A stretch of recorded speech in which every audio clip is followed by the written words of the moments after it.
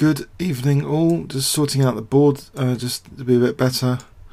Okay, I hope the board is okay uh, for everyone on live stream following this. Um, right. So, I thought we could look at uh, another selection of, of Tal games. Um, I wonder if the board can be slightly tweaked, or is it okay? Is is everyone okay with the board on live stream? Um,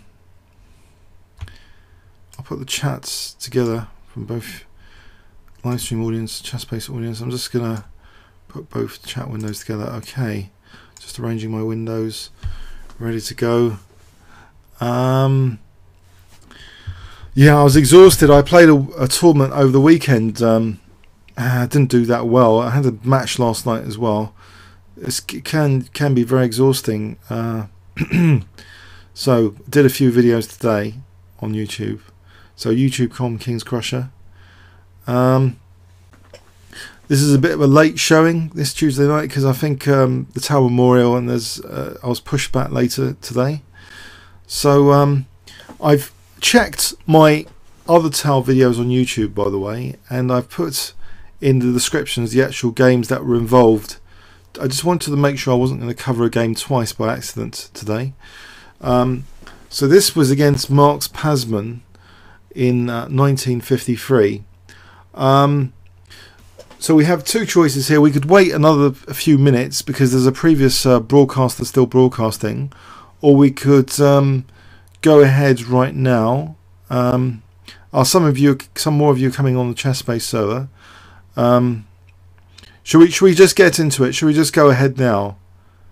Okay. All right, we'll go ahead now. So um, E4. Uh, so this is um, and then a Sicilian defence. Knight F3 from Mikhail. So Marks Pasman he played uh, D6. Uh, now open Sicilian. Uh, and um, coming up to uh, Kasparov's favourite move, a6. Uh, so that's a um, very important waiting move in the Sicilian. And um, Mikhail played uh, the sharp f4 move. Okay, so black uh, against f4 um, might might be a bit concerned about e5. Uh, that's something distinctive. Uh, does black really want to play e6 here? Maybe. But black actually played um, to stop e5 altogether, actually. Uh, actually, I had a, a, rapid game last night against a very strong rapid player, David Sands, and he got control of e5 with a knight, and it was quite nasty. So maybe that's black's idea. If black can, can play this, takes, and later, you know, maybe get a knight to e5, uh, that would be a good knight square to get a knight on e5. So e5 might be a positional idea to get a strong knight on e5. Um, so knight f3, knight bd7. So there's an option to, to be wary of, of black taking and and occupying e5, and not minding perhaps about the backward pawn sometimes. Okay, so bishop d3 was played, bishop e7, both sides now castle. King h1, bit of prophylaxis against this diagonal, any checks, which might be annoying. Safeguarded the king. So uh, b5, which is logical. Put the bishop here to exert more pressure on e4, uh, especially with b4. So it's a good uh, good idea often to play b5. Not only that, of course, for the semi-open c file, uh, c4 is important strategically. So sometimes knight b6 to c4 as well to collect the light square bishop. Here the light square bishop is blocked in by its own pawn. So is this diagonal that important? to actually win the light square bishop for black. I'm not so sure. But uh, e4 control is important for white anyway, and maybe he didn't want b4 to chase away his knight on c3. So Mikhail did decide actually to play a3. And now we have uh, queen c7. Okay, so queen c7. And, um, okay, what does Mikhail do here? He plays actually f takes e uh, d takes. So potentially, I know these squares seem a bit vulnerable, d5 and f5, uh, a little bit. Um, But this bishop being hemmed in, maybe is, is that a concern for the attacking player? Has white got potentially a move like knight h4 to get to f5, or is that uh, is that going to be refutable with knight e4? What, what can white do? Or maybe just knight g5? Just this semi-open f-file pressure might be a concern for black. In fact, Mikhail does now play knight h4, actually. Okay. I think uh, knight e4 is not on the cards actually. This would be a terrible mistake probably because I think um, bishop takes and then queen h5 uh, just just eyeing h7 and here uh, that would be bad. And if f5 is check or and then taking the bishop that's that's not good. So knight h4 can be gotten away with to get to that f5 square. So that looks like a key square on the semi-open file uh, just like uh, this is a key square for black on the semi-open C file, that F5 is important for white. Okay, so the pressure might be increasable now. Knight C5. And now we have Bishop G5. Okay. The Queen now goes to D8.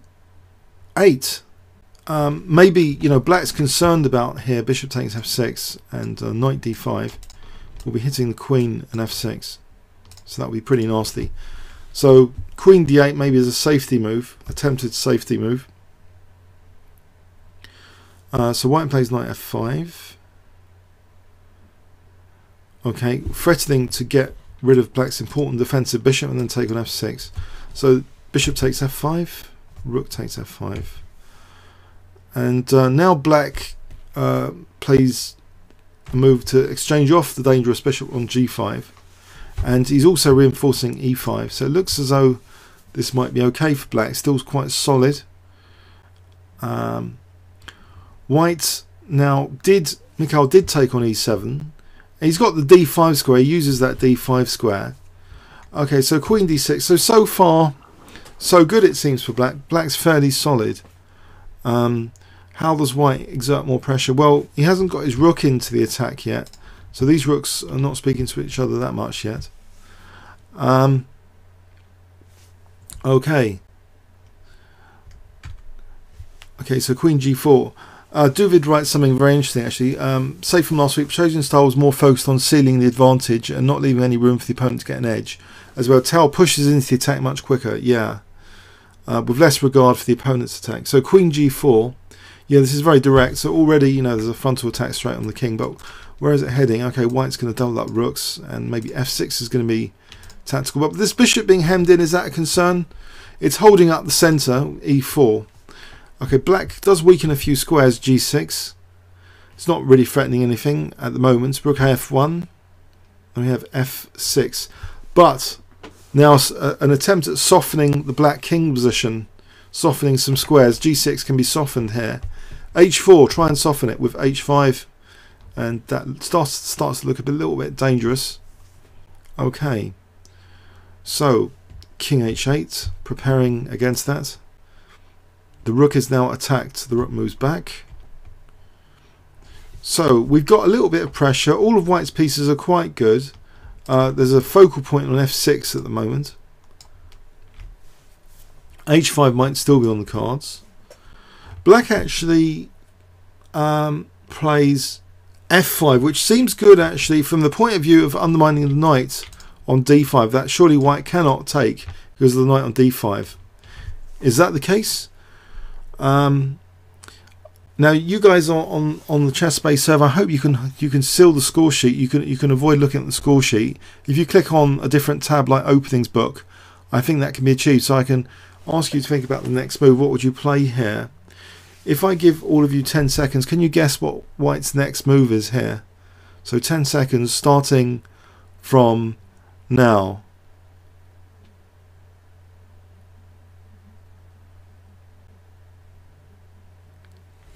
Okay, I've just told you as if uh, e takes f5 wasn't possible, but in fact that's the very move Mikhail uses. So he leaves the knight as a sacrifice, and that sacrifice is taken, uh, so, okay, there's two pawns for it, but there's also an immediate threat now of g7 check to, to be um, dealt with. Okay. So how does black parry g7? Um, there's also, you know, if rook g8, it looks as though queen h5 and the bishop's actually um, potentially useful. There's no there's no e4 there because the, the pawn's pinned against the queen. If we look at that rook g8, I think queen h5, and there's no e4. Sorry, there's a, there's a mate there's a mate threat here anyway. Pardon me. So that looks pretty terminal. There's no time for e4 or anything. Um, uh, and e4 is impossible anyway, so forget e4. So so this this looks crushing. So black actually just took on f3 as, as the method of attempted defense. Now uh, Mikhail uses a little Zwischenzug. He doesn't recapture. He plays a check. Uh, king g8 and another double Zwischenzug. Can we call it a double double Zug? Is that a new term? I'm going to make it up now. Double Zug, short for double Zwischenzug. So instead of recapturing the rook again, another interruption inter interruption check move, which transforms the position quite a bit. Uh, again, um, I wonder if you guys can guess it. Um, well, the clue was it was a check. Uh, so 10 seconds here. uh, okay, maybe not needed. Um, there's not too many checks to consider. Uh, okay, so bishop takes h7. I'll speed that up. So double Zwischenzug, double Zug. So king takes so two pieces down. Black has uh, two knights, and I know from from the bitter experience on the weekend, being you know pieces up by the opponent having the attack, it's unpleasant still sometimes to defend. Um, if if your king's exposed and these concrete tactical threats, they're they're hard to sort of parry um, all the threats all the time. So rook takes f3. So black's two knights up. Um, so is there going to be a two knights defense here? Um, what are the threats anyway here to consider? Uh, well, Queen f5 looks quite quite tasty. Uh, you know, with with the idea of king takes uh, rook g3 and then, then mating. Uh, so that's maybe one thing. Um, so g3 may be an idea. It seems to take g3 away from the rook. So maybe that's what this this defensive move is partly about. That black played knight e4 here. So at least he's depriving Mikhail of, of rook g3s. But now um, Mikhail carries on the attack with his pawns as well as the queen. The pawns represent sort of attacking pieces around the king. So he plays h5, which supports, of course, queen g6 now. And then maybe h6 after. This is what happens. Knight d f6 so we have uh, check. We have h6. Okay. So, right. So now there might be um, an idea of sacking pawn temporarily and then playing uh, rook h3 for rook h8 maybe. That might be one idea um, on the cards.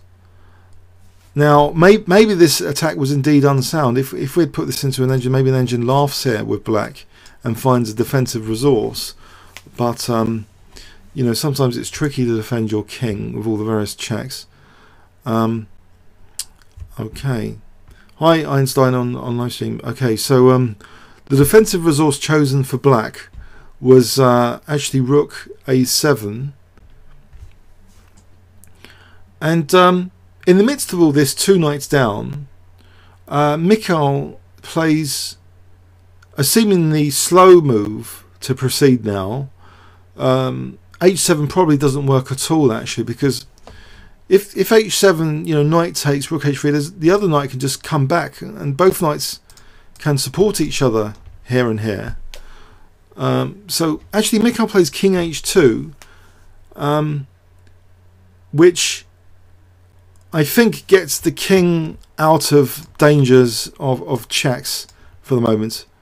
Um, preparing actually this next move, which is rook h3. So now there's a concrete threat of h7, uh, which needs to be stopped, blockaded, and black does blockade the h pawn. So he's still two knights up.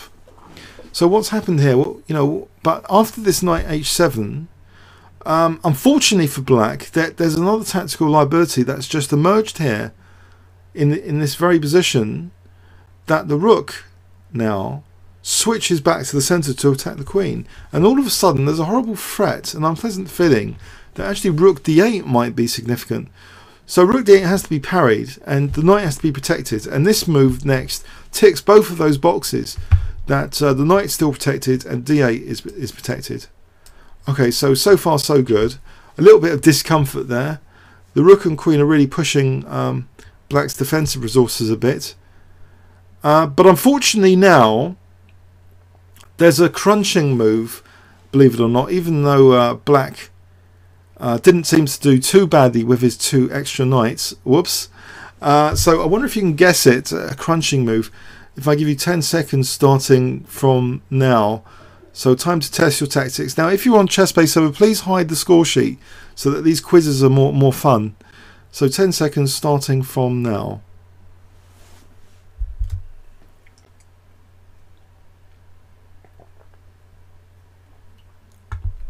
Okay, unfortunately, there's a back row issue which has just been created, or rather, this rook d8 has more effect now because actually, the weakness of the last move when black had retreated the knight like this, there was a slight clue. If we were one of those inspectors, you know, on the inspector post, there's a slight clue uh, of weakness here that the knight's actually not supporting g8. Slight, slight problem that the knight is not supporting g8. And this next move takes advantage of g8 being slightly weakened. Queen takes e4. Uh, unfortunately now, after queen takes check, this pawn is now able to queen with g8 check. So the king moves. And now white is only a knight down. Only a knight down now. Um, for two pawns. And the king exposed. So I think black's really messed up. Really messed up. He was two knights up and there is only one knight up for two pawns. He must be feeling gutted by this point, and there's still loads of checks and torture to come in this position. So the first check, rook d6, another check, queen g6, and yet another check, g3, and another one, rook d3, which wins more material now because if the king moves, the queen's lost. Uh, so unfortunately here, queen takes d3, and then black also resigned with that move. So all of a sudden, from being two knights up, Black lost the thread there. Let's rewind. Let's do an overview and summary of that game. So you know this is absolutely over uh, if Queen d3. But let's let's go through that game again.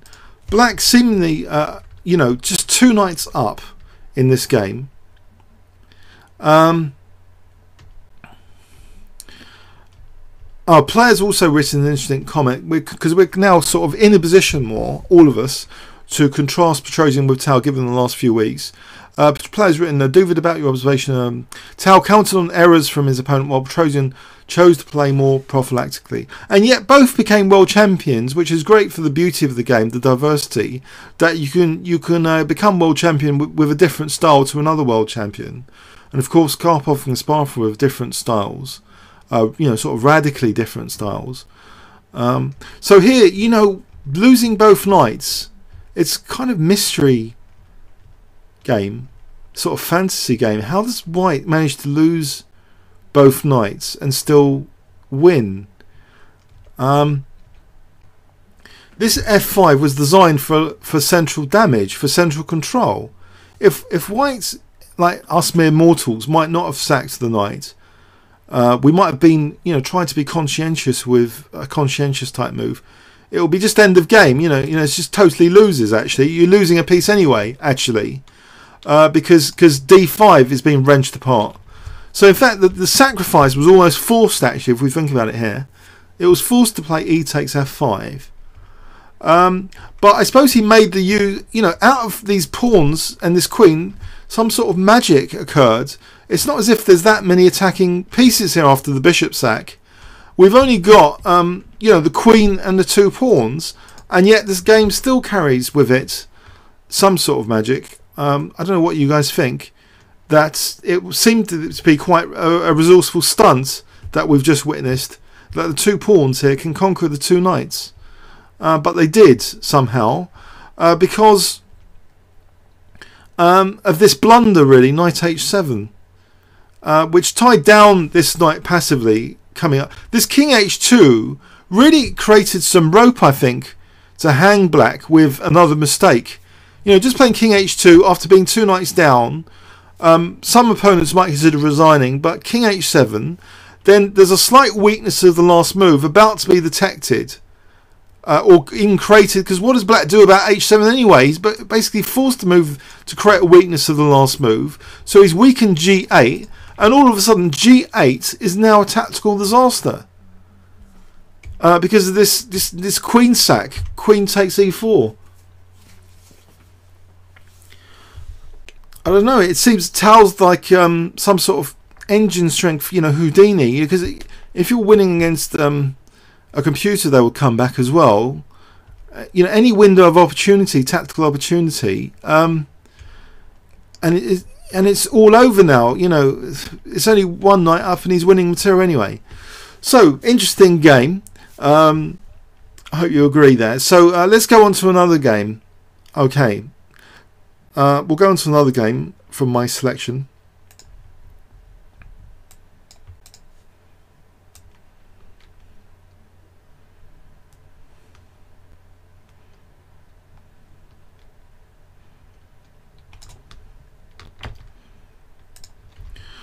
Okay, now uh, Tal was playing uh, black here. Okay, so this is um, in 1953. So sort of early, uh, early, earlyish games, Tal games. The, these ones. Um, now playing black. After d4, he played knight f6.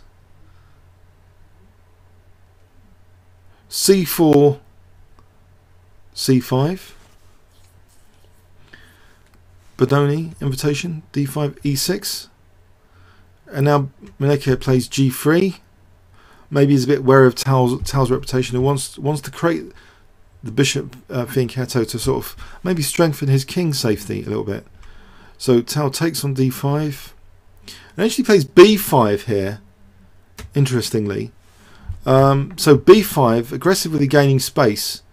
Um, but is this diagonal going to be significant? Is, is black going to play bishop b7 trying to undermine d5 or something. He wants maybe to play b4 if knight c3 at some point. Uh, white dislodges the pawn immediately with a4. And after b4, uh, one would usually, you know, think that c4 is a comfortable square to make use of maybe uh, later. Um, especially if there's a pawn on d6, it could be useful to get a c4 for a knight maybe. So c4 is actually sealed now uh, with the move b3, uh, which also has the idea of, of fianchettoing uh, the bishop. Now, in more modern times, I've witnessed a similar game actually, and I think a similar tactic to what we're about to witness uh, here. And it was actually an Ivanchuk game recently, which I did a video of on YouTube. There's something quite unbelievable actually about the liability on A1 and the bishop on B2. Potentially their tactical liabilities, even though it seems white has got the initiative. Uh, G6, bishop G2, Okay, d6. Now white plays e4. And I have bishop g7, so there's a discovered check. Sorry, discovered attack threat on the rook on a1. Okay, which would seem to be uh, parryable because all white has to do surely is play bishop b2. Okay, so the threat of knight takes e4 has been parried because there's a pin being created on the f6 knight. Right after castles, the, the situation's changed slightly in that the bishop's now protected by uh, the king, whilst this bishop's still unprotected. So we've got a difference of these bishops facing each other. That's a protected bishop, that's an unprotected bishop. Okay, so knight e2. Now we have rook e8 as if everything's okay for white, surely. Everything surely is okay for white. There's a bit more pressure on e4. Okay, so it's protected naturally. You want to protect e4 with knight d2. Looks logical. But now we see that black actually, even though black usually doesn't have the initiative, you would have thought white's run, you know, equal on this, this contentious bishop diagonal. But in fact, black is the one that strikes with a tactic now. And this is this is reminding me of the Ivanchuk game I also saw recently, where Ivanchuk played a similar tactic. Can you guess black's next move here if I give you 10 seconds starting from now?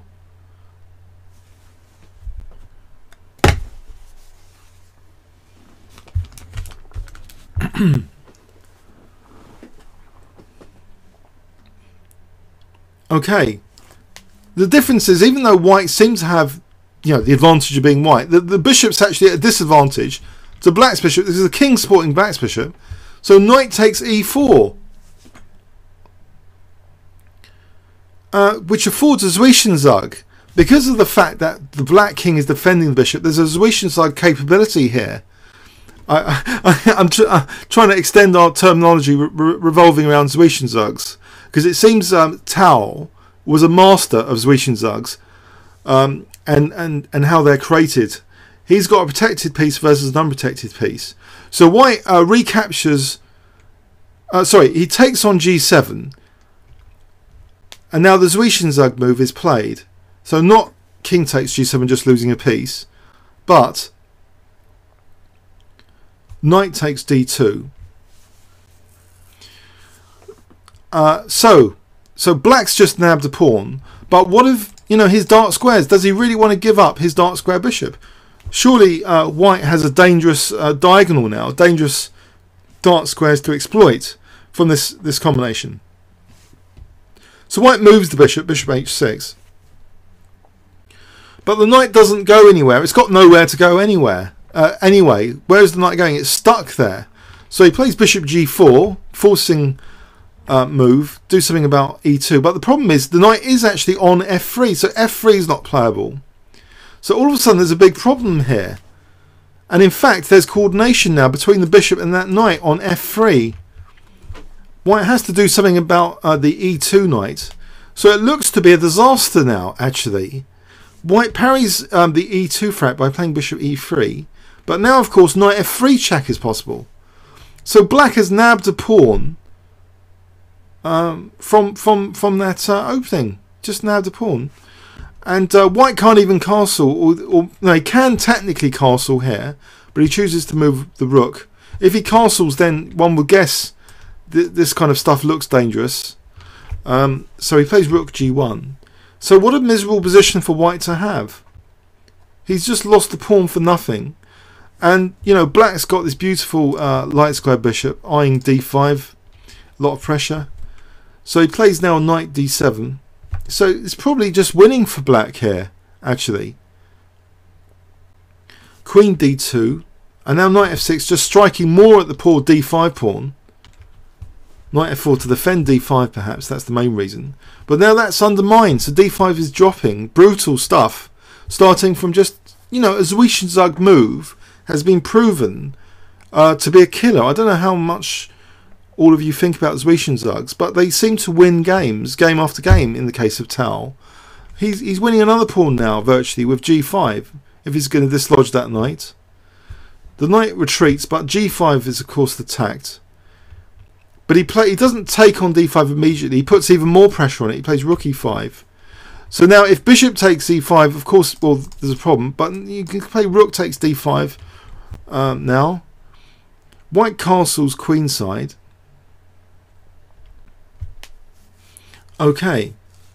So knight e4. Attacking the queen. The queen moves. c2. Now another forcing sequence to win even more material.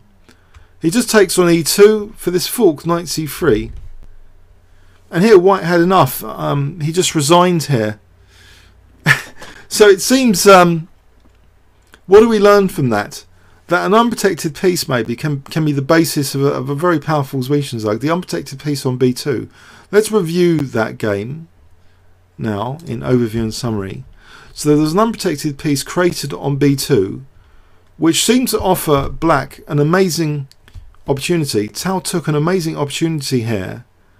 Uh, that simply the act of castling is giving him the advantage here tactically uh, that after in in this sequence that knight takes e4 is actually possible but how does how does white defend you know e e4 here could he have played well here's a question could he have played f f3. I'm not sure. It looks like an ugly move to play f3. I think if queen c2, that, that fails. Tonight takes d5, does it? Um, because I'm thinking about this knight actually. So say takes, takes, takes. Isn't bishop a6? Oh, maybe bishop f1. Yeah, that that might be okay, but it's I don't know. Bishop f1 doesn't look as though it's wise um, to play bishop f1 um, because you know maybe maybe knight d7. Uh, okay, um, but um, queen c2 might might be better than what was played. What was played was a disaster anyway, so there must be an improvement surely. So knight takes e4.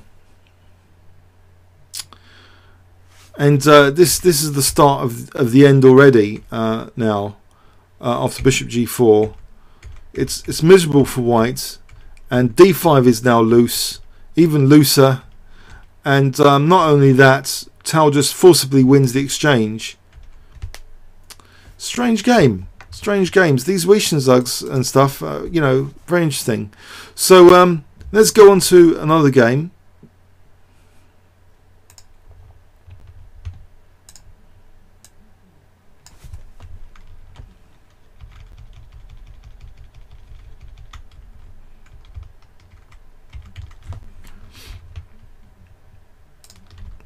So this is um, this this is uh, Ber Braga against Mikhail Tal, played in Kharkov 1953. So another early Tal game. Some early games this this this time. So d4, and uh, now we have uh, knight f6 after c4, c5 again. So this is like a favourite actually of the early Tal in in the 1950s that he was playing for the Benoni. Uh, the Benoni's reputation was, was probably much stronger than today as a playable opening. Uh, so d5, e6. We have modern Benoni territory. After knight c3, we're in, we're in the modern Benoni. Okay. So the modern Benoni, do we call it potentially losing trump cards? That you, you get the potentially losing weakness here, but you've got semi-open e-file pressure. You've got a poor majority on the queen side later. You know, it's got active play, you've got active e5 square, but uh, there's some downsides, like this pawn structure. You know, if white can flood the centre sometimes later with, with e5 break, that might be critical. So the Benoni at the time had a, a good reputation anyway. In Tal's hands, it was pretty lethal. So e4, I think Gary Quillan, this, this British IM, is still playing the Benoni. Uh, he played at London Classic, uh, I remember last year, I think. Uh, some people still play the Benoni. So g6, off the knight f3, bishop g7, bishop d3, and both sides castle. Now knight a6, which is a standard sort of plan to play knight c7 to put more pressure on d5 and also maybe to support a6 and b5 later. But also the knight can potentially go to b4, depending on the position.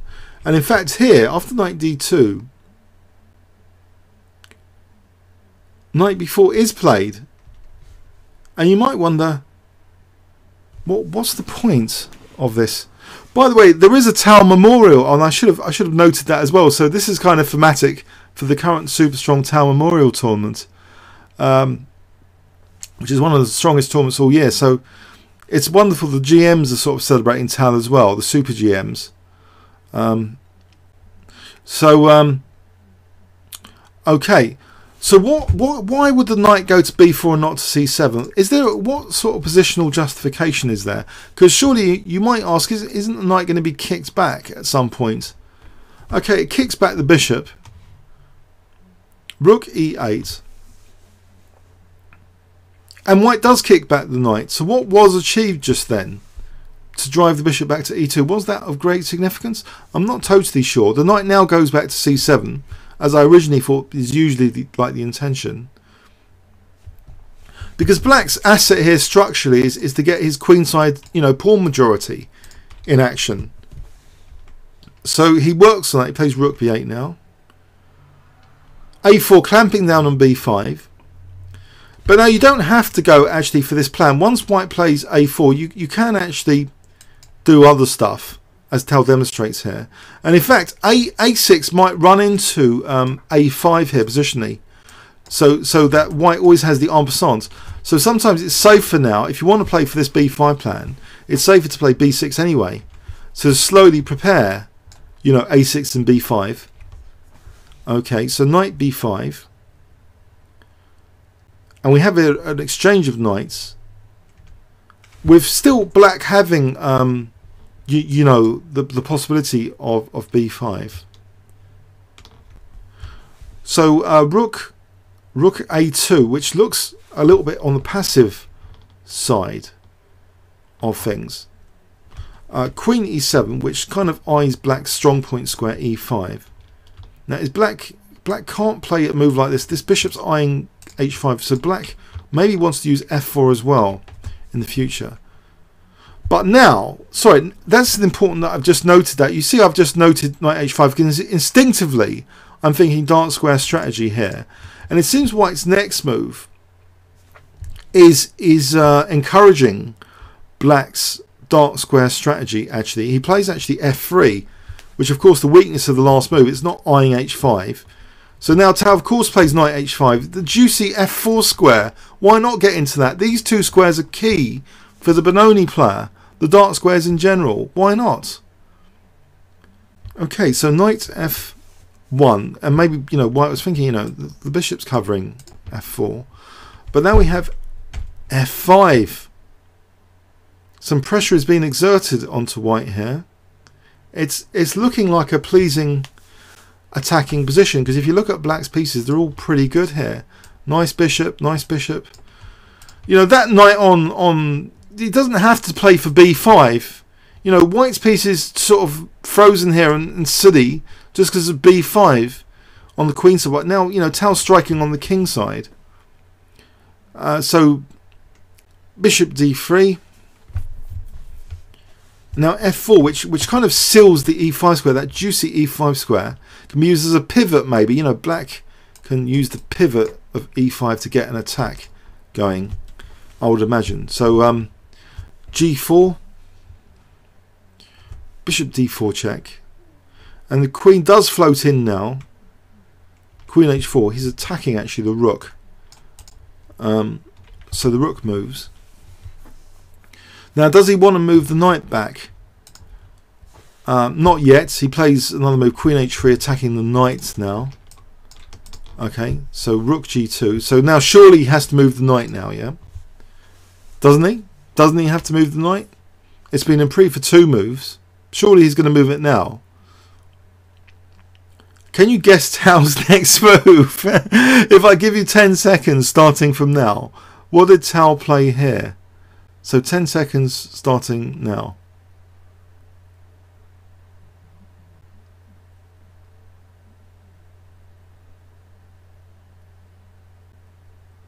Okay, he plays actually um, Queen takes f3. So a knight sack, it seems, for two pawns. If, if white, uh, well, if white wants to take, um, the might, might run into bishop h3. That's that's the problem here. Um, so actually, uh, white kicked the queen first, maybe to avoid bishop h3 as a problem. Um, now we have queen e3, which which looks as though it threatens actually something, um, like queen e1 maybe, um, or if if takes maybe bishop bishop h3. Not 100% sure what. Maybe I should be, uh, but there's also f3 as a threat and then queen e1. So actually the queen is kicked again with knight f1. The queen goes back to f3 and then are we going to draw by repetition, the grandmaster draw here? Because the queen is again being attacked with knight d2. So has Tal walked into a draw? Unfortunately. No, not quite. Uh, maybe this game might be on the unsound side. 1953. This is the start of um, Mikhail's journey to become world champion. Okay, so 10 seconds starting from now. What does black play to avoid um, a repetition. 10 seconds starting from now.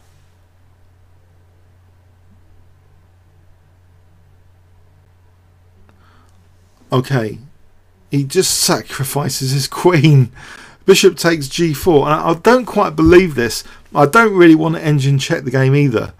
Um, you you guys feel free to. I don't know. It just was it difficult to play for white? That's the question. You know, difficulty of playing the position as, as white. If it was that easy to play, then why you know why would there be a question that white's not winning this? So white snaps up the queen. So bishop takes f3. And what have we got here for the queen? What have we collected? Um, is it um, two minor pieces or just one minor piece and a few pawns? Uh, in terms of minor pieces, let's do a minor piece count. One, two, three. Uh, one, two. So it seems to be just one minor piece because both sides have two rooks. So factor out the two rooks. Um, it's just one minor piece and two pawns for the queen. Uh, so that's 3 plus 2, 5. Queen's usually worth 9. So that's like minus 4 technically. Or minus 5 if you make a queen worth 10. We're talking minus 4, minus 5. Um, right. Concrete threats to deal with here. What are black's uh, threats here, in fact? Maybe uh, this pivot square as I mentioned before the Benoni e5 square is going to come to the rescue here, surely. or maybe outrageously, that was an outrageous idea. But that idea is, is ruled out anyway by White's next move. Just plays h4. So how is rook e5 to g5 now possible? So surely black's just a queen down for nothing. You might say. Well, he plays actually rook f8, which doesn't look like a killer move. But remember, that there is actually the lurking knight g3 checks to factor in here. Tal makes use of a knight g3 after bishop e2. He plays down knight g3 check. So he's going to win the exchange as well now, if he wants. Um, he plays bishop takes g2, winning the exchange. And unfortunately for white, um, after knight takes e2, he's going to win the queen now. If, if the queen takes, there's F3 check. Whoops. this is this is unfortunate indeed. Now, if he doesn't take, then now Tal actually has got quite a few pieces.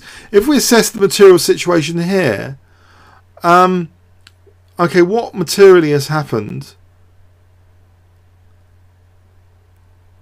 Uh, there's two rooks now against only one rook, uh, and um, two minor pieces against the bishop and queen. So the material di difference, um, he's just gone up plus five. Is player? Can you summarise the recent transaction? He's just gone from minus four to sort of being slightly up on material. So five plus five, 10, 13, 16. Say the queen's worth nine, uh, plus five, 14, plus three, 17. Might might be slightly up, but he can't afford to lose the queen surely because He's not going to be that much material up now if he plays queen takes e2.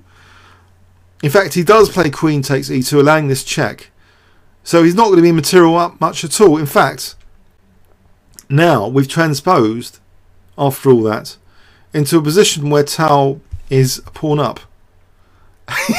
so the, that was fair enough. He's a pawn up. Four, six, five. He's just a pawn up here with, with good play. So check so that that was like a strange strange dream there of what happened. I have no idea. From going from being material down to being a pawn up with a really good position and still with a nice e5 square. That was a neat little trick. Um, so bishop f4, exchanging off a key dark square defender by force. Where, where else is the bishop, poor bishop going? And then these pawns might be forked as well. So white actually resigned here. He's going to lose uh, another pawn because Say he takes, you know, rook takes f4, he's winning another pawn. It's a hopeless rook and pawn ending. Something really weird is happening in these games. You've got to say. Um, let, us let's go back in overview and summary. So it's it seems as though you know white has sorry black has some tactical trump cards from the Benoni. Um, and something very strange in relation to them happens in this game. That okay, black seem to have a fine position anyway, uh, a very fine position. Um, but um, surely uh, one grandmaster um, who wrote Chess for Zebras, um, Rowson, has described this this particular grandmaster weakness sometimes of what he calls wanting, when the position on the board doesn't deserve you trying for a win. Now, was this a case of wanting to win, um, unduly uh, uh, un- unduly rewarded? Uh, because Tal avoided uh, a perpetual uh, repetition here, yeah, and surely this is evidence that actually, yeah, the seven deadly sins. Is this a case of wanting, but actually, he's wanting so badly to win, he sacrifices his, his queen? Or did he know that by doing this he's going to make great YouTube videos for me later in in later years after after he's just sacrificed his queen. It looks completely unsound. Does everyone agree this looks totally unsound? Or am I am I am I thinking is, is you know this, this is just unsound, isn't it? Bishop takes g4. I, I think we don't like to play this way because we know that um, when playing against our engines nowadays that our engines crunch millions of positions. And if something is even slightly unsound, against an engine you're going to lose. Um, but you know, T- Tal was you know up against human opposition, and um, uh, you know some sort of horrible blunder happened, and it seems as though H4 had a little bit of caution to it because there was a threat of rook e5 to g5 after all. But h4 does weaken g3 for the knight g3. But uh, for the weakness of the last move in, in these games to become, you know, critical crunching, uh, a basis for crunching tactics later, is remarkable that knight g3 is going to set off another disaster in this game. This this weakness of the last move, weakening g3, is a basis for a horrible combination pretty soon. Um, so rook f8 so bishop e2 was a key blunder, perhaps. Th- this rook's out of play, as, someone's just mentioned, mostly about the a2 rook. Yeah, uh, Randolph said, yeah, the, the, rook's out of play, and um, so bishop e2, just a total disaster move, is it? Was maybe there is an accurate defence that we can try and work out here? Isn't there? What about just b4? Wouldn't b4 just you know help the rooks? Contact each other. Hi there, rooks. Hi there. Wouldn't that help? Second row defence. He is a queen up. Uh, one would have thought, but he plays the move bishop e2. He just cracks up here. Bishop e2. Um, and now Tal starts to sort of equalise in material. Uh, miraculously. So bishop takes g2. Um, it just ends in, ending up in a winning uh, rook and pawn ending. Strange games. Um, and a forceful sequence actually to get ev- even more material, uh, winning another pawn, bishop after bishop f4. Rather cruel end to this game. Strange, uh, mysterious, magical games. So um, let's look at another game.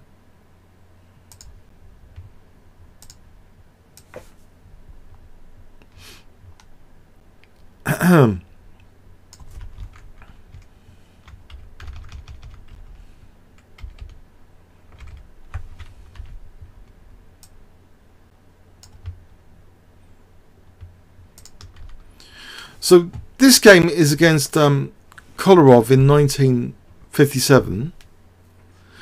So Mikhail uh, was white actually. Uh, so we'll flip the board.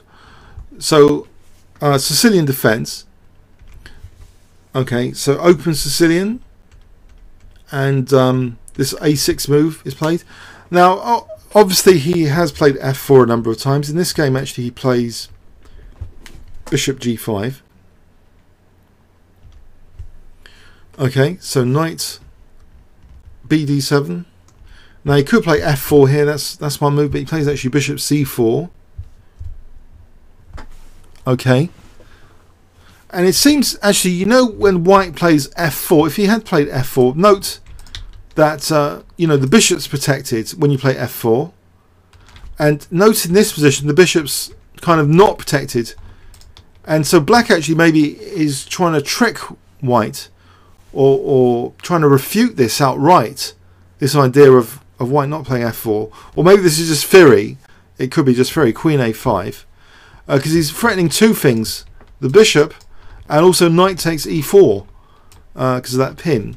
So queen d2 parrying both. Is the queen's use on a5, is this justified so early on for the queen to come to a5? I'm not sure actually. So e6 and now white castles queenside. b5. Okay. Um, so uh, Mikhail has a choice. He could maybe calmly, um, you know, play bishop b3, or could he uh, not? Because bishop b3, maybe b4, the knight moves, then knight takes e4, because there's no pin on the queen because the queen's here. Knight takes e4 would attack these two guys. So in this position, it looks as though bishop b3 walks into b4. Because uh, knight takes e4 looks looks pretty dangerous here if knight c6, b takes c, oh, knight c6 here,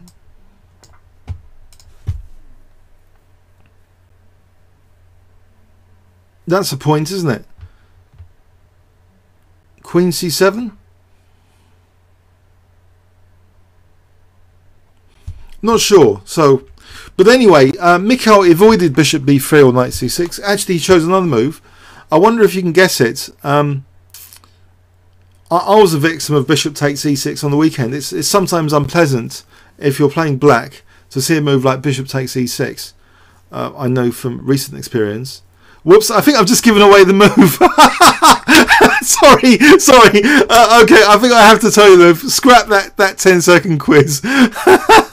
or, or no, no, the 10 seconds quiz has just been ruined. Sorry, bishop takes e6. Don't worry, there'll be another one in this game. So bishop takes e6. Okay, um, so it's a bishop sack. Okay, a bishop for two pawns with the king stranded in the centre. Got the usual story of this monster knight now, octopus knight in all directions. So all the monster knight needs is the queen to do something horrible to coordinate with the knight now, and it'll be the end of the black king surely. Okay, the black king makes a run for it. He plays king f7. But no, the monster knight is actually removed immediately because Mikhail targets now d6. So he wants to loosen d6. So he actually takes on f8 to win d6. So he's got three pawns now uh, for that bishop sack. Okay, so I used to think most of the Tal games were knight for two pawns rather casually. And in my blitz, I don't I don't really think twice sometimes about a knight for two pawns. But a bishop for two pawns, that's a bit dodgy. But bishop for three pawns, a bit less dodgy. So three, four, five, six, seven against four. The king's still not particularly safe. Um, but uh, b4 is played by black. Knight d5, which pokes into the dark squares a bit. You know, e7 check might be useful. Giving up a2. Uh, it doesn't really bother about the checks, no big deal. The king can always go to d2. He just centralises his rook.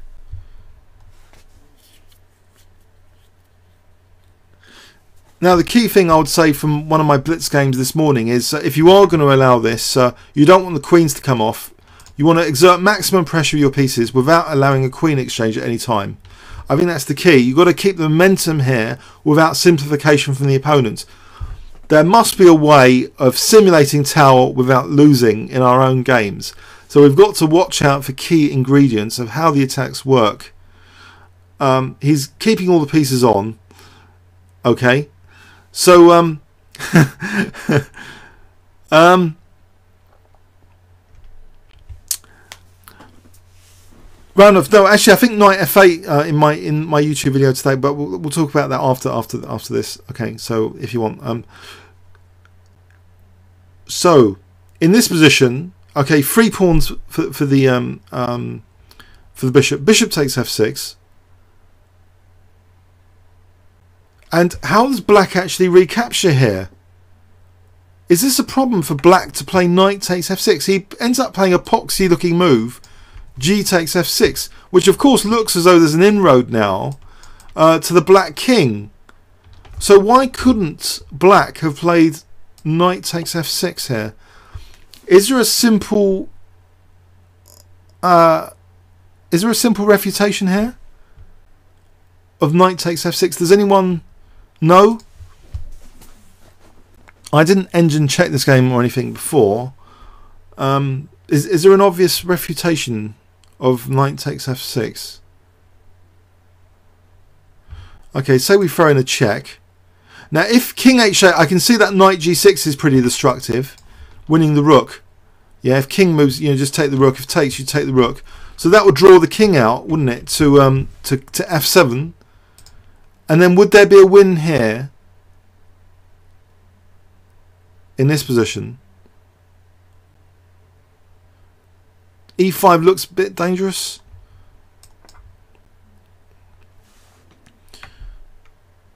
Uh, maybe you know maybe if the knight moves now, you would simply play something like rook d3 anyway to play rook f3 and then you target the the king and rook maybe. This looks quite crushing, doesn't it? With the king still a target on the f file. Agree, everyone? So that looks quite crushing, yeah. There's probably something even better actually. But uh, okay, so the opponent played g takes f6. So he allows a seemingly attractive rook lift.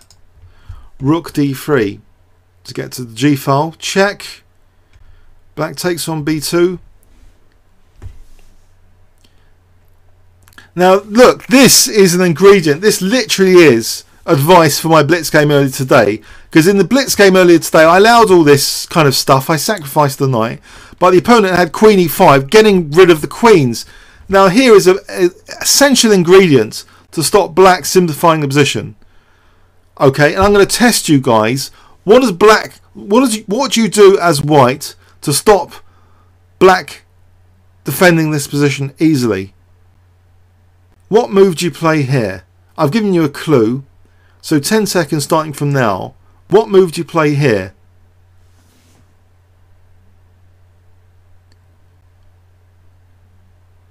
Okay, yes, you want to stop queen e5.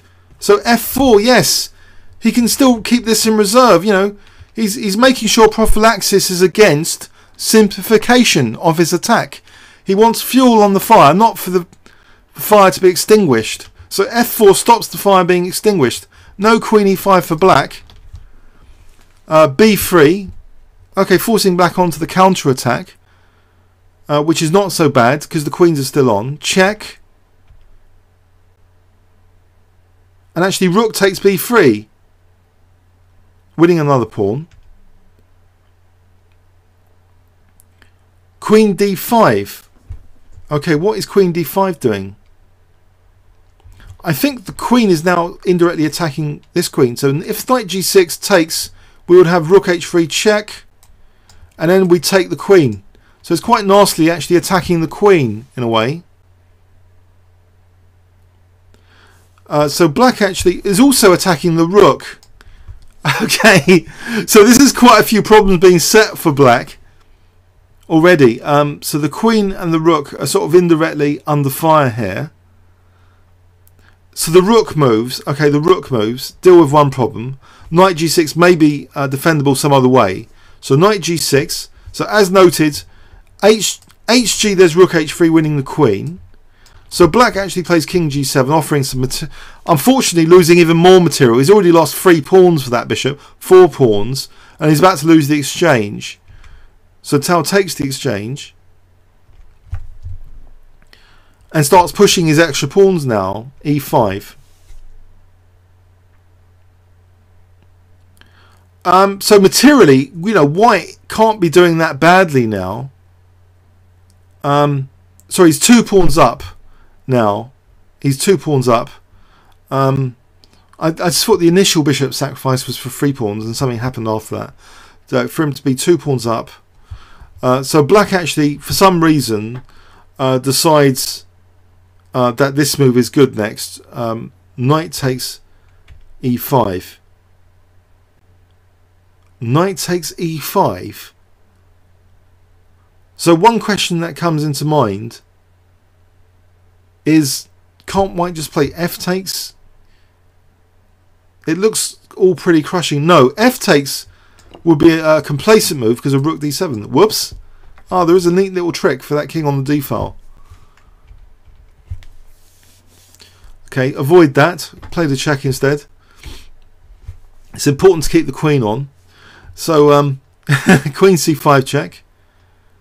And actually, queen c5 check also uh, attacks the bishop. So after king g8, he, he takes the bishop.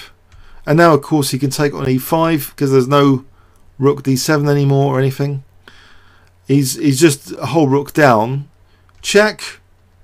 Queen comes back. Check. King goes into safety now because the queen's covering a1. End of game.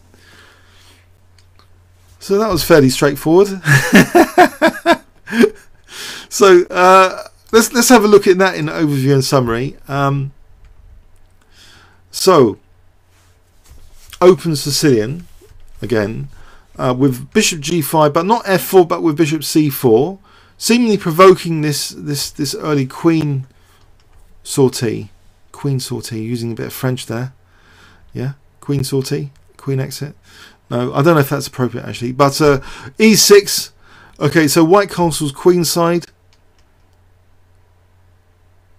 b5, right for a bishop sack here.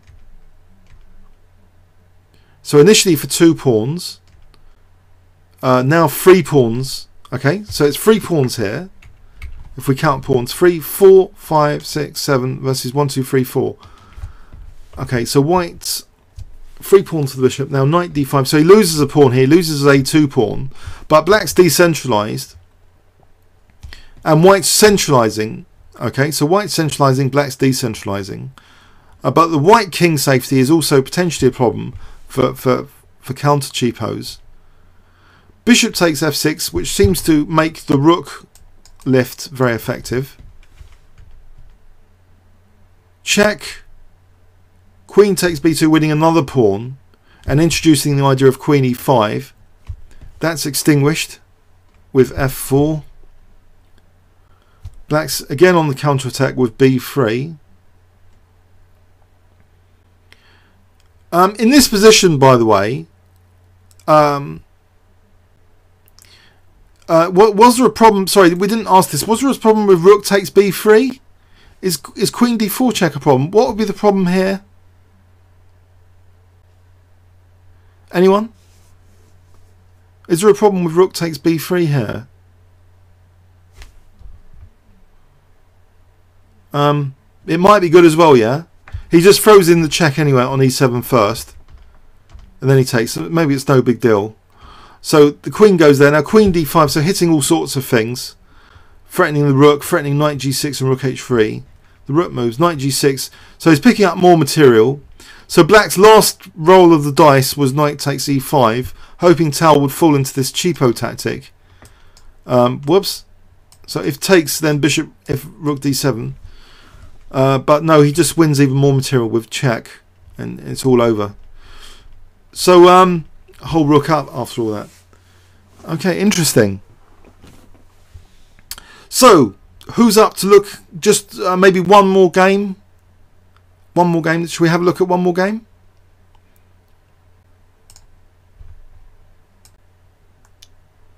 I've got one more game noted uh, to have a look at anyway. I don't feel that tired actually. Haven't been playing that much today. Uh, so let's go for it.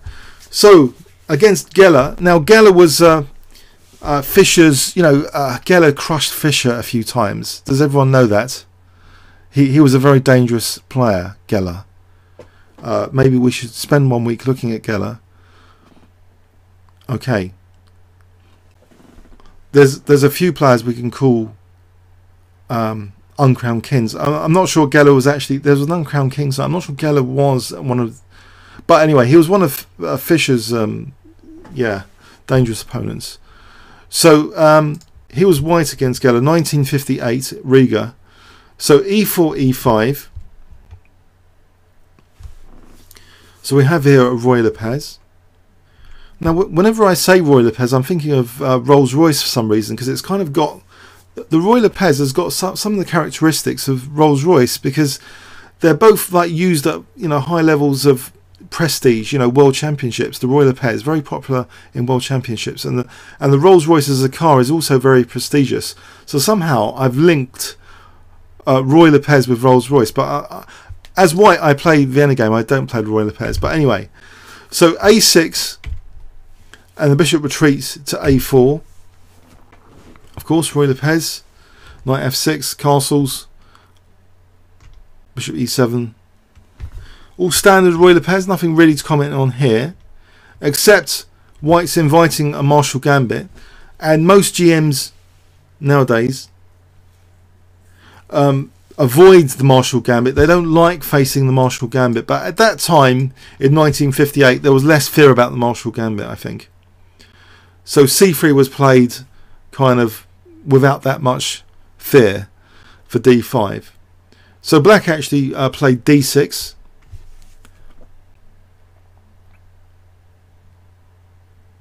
Okay, so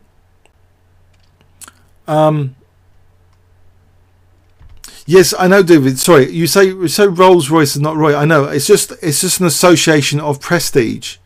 Yeah, I know. I know it's not the same word. It's the prestige of the Ruy Lopez at the World Championship level. okay, uh, so knight a5 um, the bishop goes back to c2, and now black plays c5. So this is standard kind of Ruy Lopez kind of stuff, which I don't usually play as black. I don't know how many of you play this as black. Does any of you play this as black?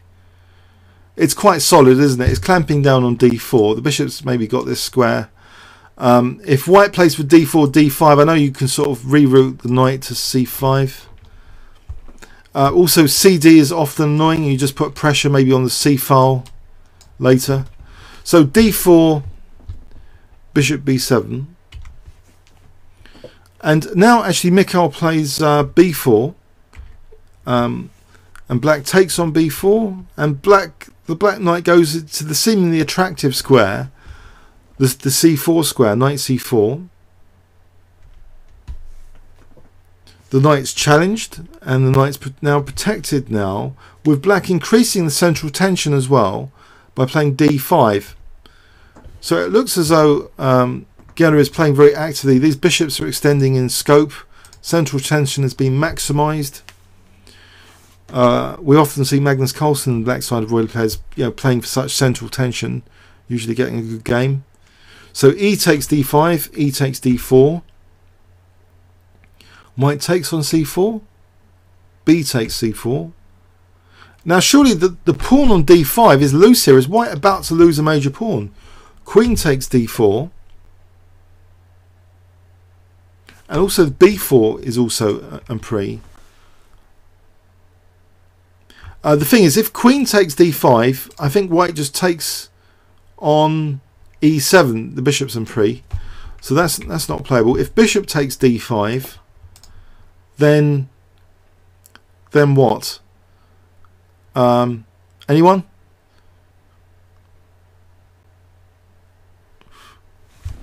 Interesting. Um, there's also the B pawn. Let's let's look at the game anyway. Okay, let's let's follow the game. I'm sure that there's something there. So bishop takes b4.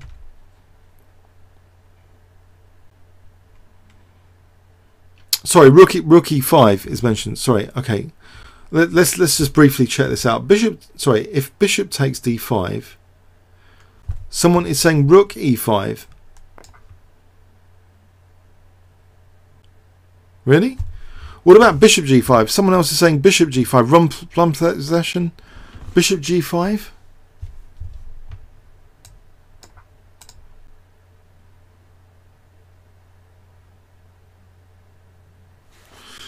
Interesting. okay, okay. Um, All right, all right. There's two pawns en prise. Uh, okay, the the b pawn was taken, and um, now the exchange is offered with rook b1. So he, he sacks the exchange. He's allowing an exchange sack. So he's the exchange down. Uh, but uh, the the d pawn can't be taken now because the bishop has to move out or be protected. It's protected with rook e8.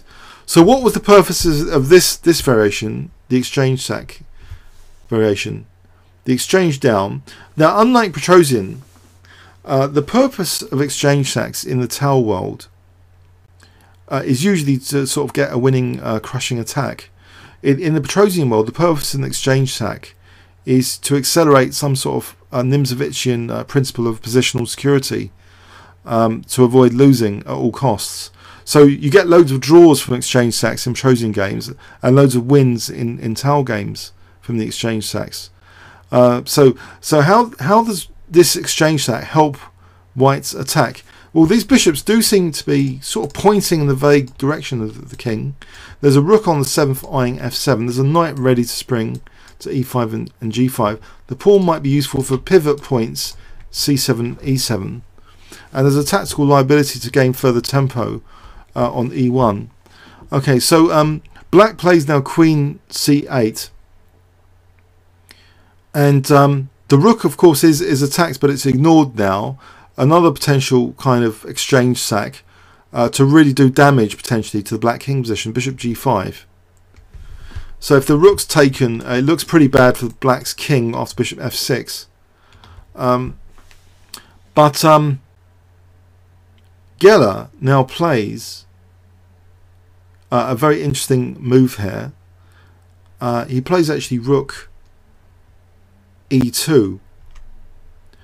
Uh, of course, attacking uh, this bishop looks as though that's going to be very handy as well. But uh, Tal uh, attacks the queen now with rook c7. Okay, so queen e6. So again, we, we've got this kind of threat of rook takes c2. Now, Mikhail takes on e1. Check. King h2. So white's still um, the exchange down. But the bishops look a little bit more menacing than before. There's there's more concrete threat with that bishop.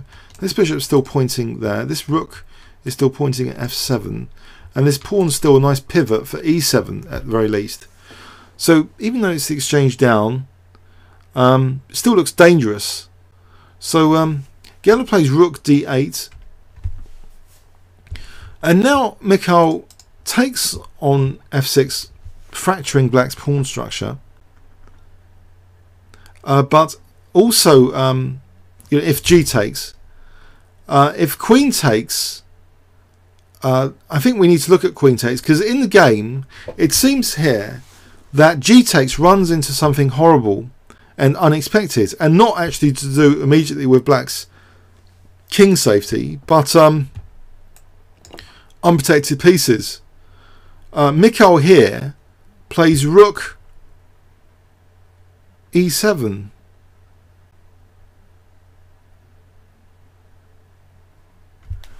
Uh, now, one question that comes into mind here, uh, well, rook e7 would seem to be skewering, okay, but what if what if queen takes e7 here? Because surely d takes rook takes, and the pawn's not going anywhere. Uh, what would be played in this position by white?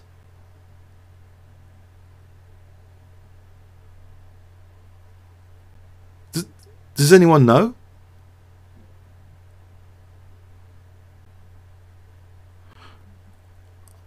I'm, I'm probably missing something obvious here. I think it's just check, isn't it? So Zwischenzug check. It's these Zwischenzugs are killers. So check and then taking the queen. Ouch. So rook e7 does seem to be quite crushing then on, on this g takes f.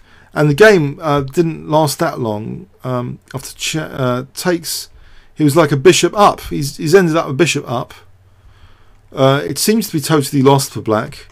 He played on a few more moves, but he's just a bishop down for not much. And he resigned here. Uh, so I think we need to rewind to see this bishop takes f6 again.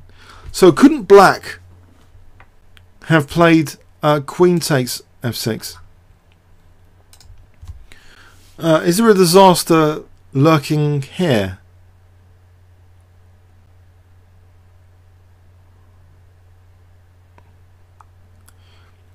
Actually, there's there's another reason why Tal always um, ends up ahead in games I show you because um, I always pick uh, wins. Actually, uh, he did lose a lot of games as well. I know I know he became world champion, but you know um, I'm so so. Please don't be surprised that if every game I show you is a win, yeah, because that's how the game collections of Tal are usually biased. They're usually just his wins. Um, you know, to celebrate a player, you don't usually celebrate by showing their horrible losses. So, but here, okay, what happens after queen takes f6 though?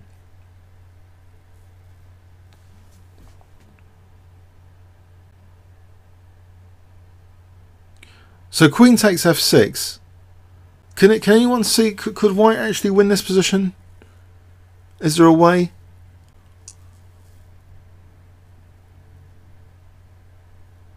Anyone? Would this be better than what was played?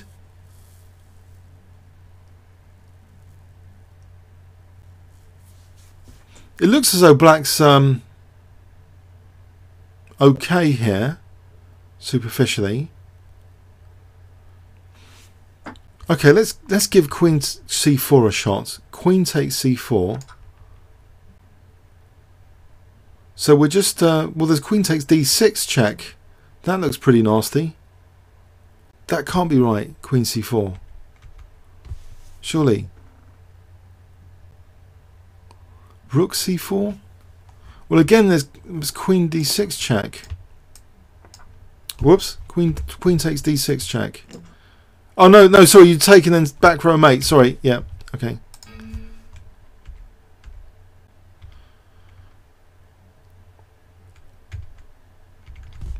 So, um, sorry, uh, rook takes c4. Yeah. Um, well, this this pawn looks a bit dangerous now. Um, so, so you know, maybe maybe the pawn's going to be supported soon if, if queen takes. Um, may, maybe um, Geller didn't like that. He's a pawn for the exchange. Um, okay. Uh, any anything else? So rook takes c4. Does everyone agree rook takes c4 might be the strongest uh, move here after queen takes f6? Is that is that right? We agree rook takes c4 here, do we? Oh, sorry, sorry. Warrior has written queen takes f6 and then d7. All right, let's have a look. Queen takes f6, d7. Ah, so this passed pawn is coming into play here because now there's a threat of rook c8. So there's no rook d1, of course, because of that bishop. Um, if we try and, you know, like, let's try this. Then bishop f5 looks strong. Because now there's a threat of rook c8. Is black busted here? It looks as though black might be busted here. The exchange up. Because this pawn looks quite crushing. He can't chop the pawn without losing a rook. How does black defend against rook c8? This is winning, isn't it? This is winning.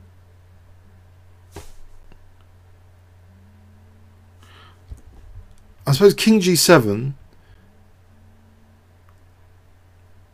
or you could end up with a better rook and pawn ending um, a pawn up with, with, with an advantage maybe if you if you take here black has to counter sack and you end up with a better sort of rook and pawn ending. So that might might be um, okay. That maybe maybe Geller had seen this from this position, and he, he thought it was better to play. Uh, it doesn't look too convincing, though, does it? So Geller just blundered. It seems horribly with G takes f6. Uh, so Rook e7 was just winning material. Skewer, Queen and Rook. Oh well. So um, I hope you enjoyed this week. Uh, that's the end of my selection of games. Um, I'll, I'll, be uploading this to YouTube. Uh, I hope you got something from these games. Uh, maybe some more tactical awareness of Zwischenzugs, double Zwischenzugs, unprotected pieces. Um, yeah, putting pressure on the opponent. Uh, okay. Um, all right. Thanks. Thanks very much. So uh, see you next week and this will be on YouTube.com Kingscrusher. So YouTube.com Kingscrusher.